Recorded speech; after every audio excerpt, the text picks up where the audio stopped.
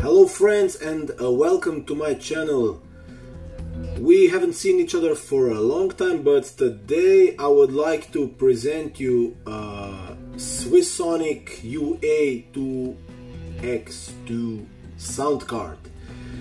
Uh, Swissonic as the name says it's the sound card with two inputs and two outputs and probably there are some more features which we will check precisely and in depth but first I would like to do just the unboxing and uh, let's do the unboxing and let's see what exactly is in the package.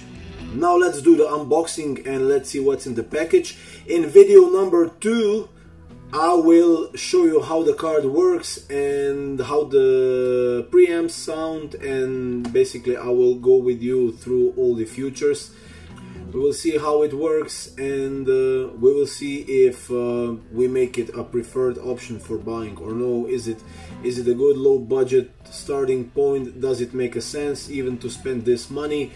Uh, yeah, let's check it out and let's see. See you in video number two.